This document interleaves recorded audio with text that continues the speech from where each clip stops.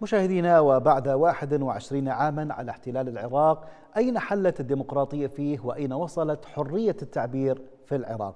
ينضم إلينا الدكتور حامد الصراف الأكاديمي والباحث السياسي العراقي. مرحبا بكم دكتور حامد. أهلا وسهلا. شكرا جزيلا. حياكم الله. بعد 21 عاما من الاحتلال الأمريكي تقرير لمرصد الايكونومست انتليجنس البريطاني يؤكد أن العراق تراجع في مؤشر الديمقراطية إلى أدنى مستوى له في البلاد منذ عام 2003 ألم يزعم الغزاة الأمريكيون أنهم جاءوا بالديمقراطية للعراق؟ أين تلك المزاعم الآن بعد 21 عاما؟ لم يستطيعوا أن يصل ولا حتى منتصف هذا المؤشر. في البداية شكرا جزيلا عزيزي على الاستضافة الكريمة. تحياتي لكم ولجمهور المتابعين الاعزاء.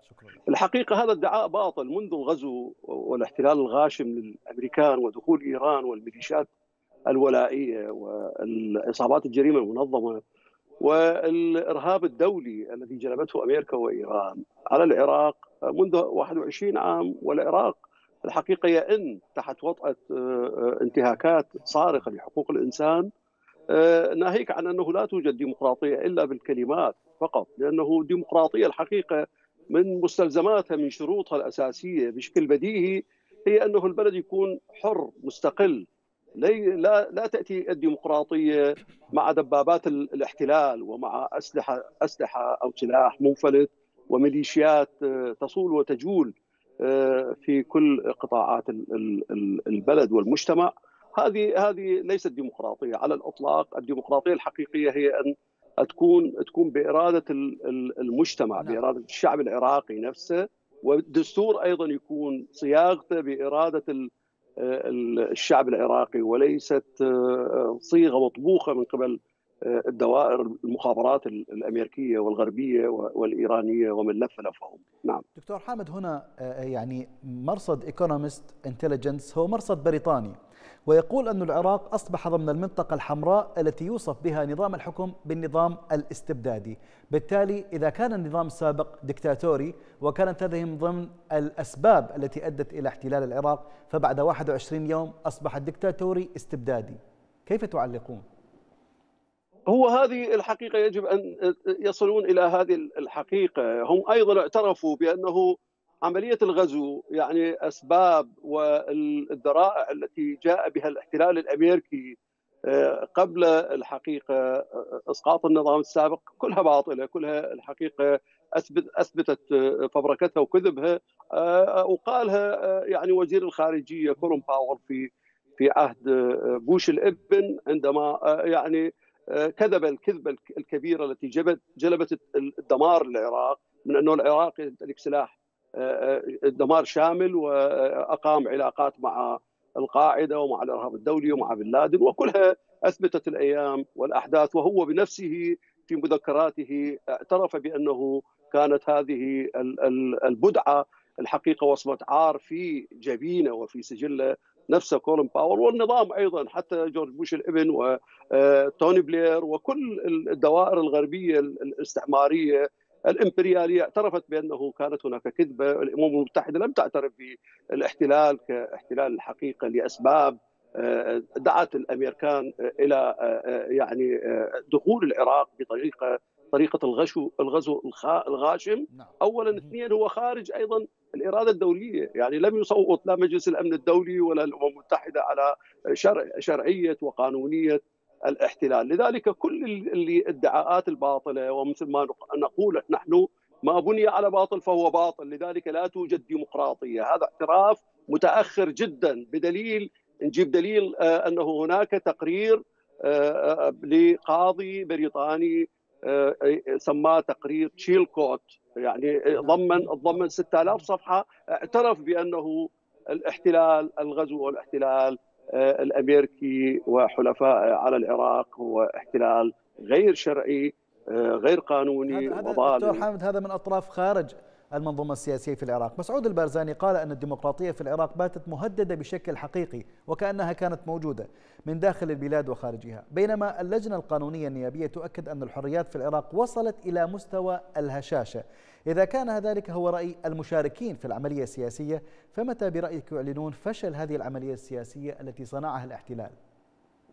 هم اعترفوا اعترفوا يعني على طول الخط هم يعترفون بأن هناك فشل. يعني نور المالكي نفسه قال قال فشلنا في كل شيء.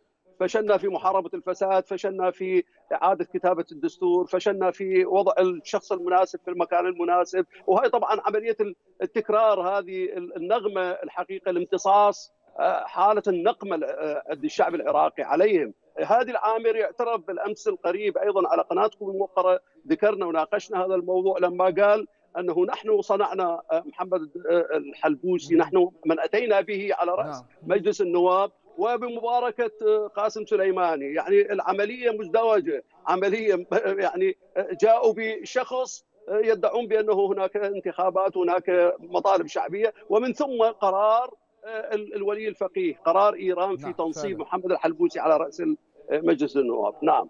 هنا أيضا وسط هذا التراجع في الحريات اليوم يعلن مقتدى الصدر عن تغيير اسم التيار الصدري ليكون أو ليكون اسمه الجديد التيار الوطني الشيعي. هل من دلالات لهذا التغيير الاسمي ولماذا هذا النزعة الطائفية إصرار على وجود كلمة الشيعي؟ للأسف الشديد هناك منافسة هناك ما زال رغم الشعب العراقي إنه الشعب العراقي تجاوز محنة الطائفية يعني كشعب عراقي كمجتمع الحقيقة بدأ يعيد اللحمة الوطنية اللي دمرها الاحتلال ودمرتها الميليشيات الولائية دمرت النسيج الاجتماعي والصف الوطني لكن الشعب العراقي أقوى بكثير أرفع من منهم في التفكير وفي نعم. آه، صياغة المستقبل لذلك هم الآن يصرون على أنه المنافسة فيما بينهم تكون أما على أسس طائفية أو قومية شوفينية أو نعم. حزبية ضيقة أو مناطقية أو حتى فساد الحيتان الفساد لتحقيق مآرب فردية ويعني فئوية إلى حد ما دكتور نعم. أكيد التيارات الشيعية أو الأحزاب الشيعية لا تمثل المكون الشيعي في العراق ولكن بالمقابل من ضمن الأسئلة التي طرحت اليوم على منصات التواصل ومن خلال مراقبين يقولون ماذا لو كان هناك تيار سني آه، آه، آه، يعني أعلن عنه أنه التيار السني الفلاني، كيف كان رد فعل الأحزاب الشيعية عليه؟ ألم يوصم بأنه طائفي؟ ألم يوصم بأنه فئوي؟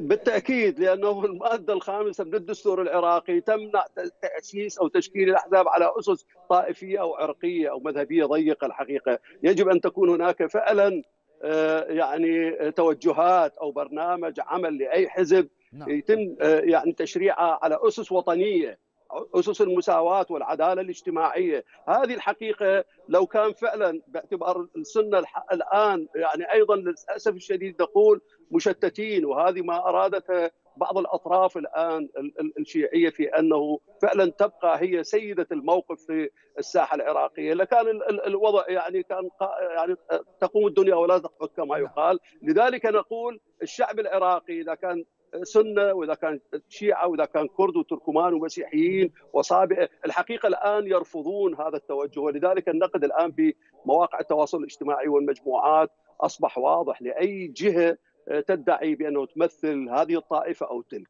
طيب هنا دكتور أيضا التيار الوطني الشيعي الذي يعلن عنه مقتدى الصدر هل هو ربما مقدمة للعودة للعمل السياسي من جديد؟ هذه هذه واضحة. الآن هو يحضر للعودة بقوة لكنه أنا أعتقد هذه العودة بهذه الطريقة سوف تخلق خيبة أمل في صفوفه قبل الآخرين. يعني تيار الصدري أيضا هؤلاء العوائل ال ال يعني المتعففة الحقيقة التي تحتاج خدمات نعم، وتحتاج إلى آه، فرص عمل. لا تقبل أيضا الآن آه، يعني آه، تغلبت على قضية الطائفية، الآن الوضع في العراق انتهت الأيديولوجيات والطائفية والمذهبية والعرقية وغيرها، الآن قضية المواطنة، يعني يجب أن يكون هناك تحقيق حقيقة الحد الأدنى من المستلزمات المعيشة الآمنة الحرة الكريمة لكل أبناء الشعب العراقي، لذلك أنا أعتقد وصلوا حتى الشيعة حتى أتباع التيار الصدري وصلوا إلى مستوى من الوعي أن يرفضون هذا التوجه الغاشم الذي لا يعني يحقق مطالبهم اليومية. نعم. الدكتور حامد الصراف الأكاديمي والباحث السياسي شكرا لكم على هذه المداخلة.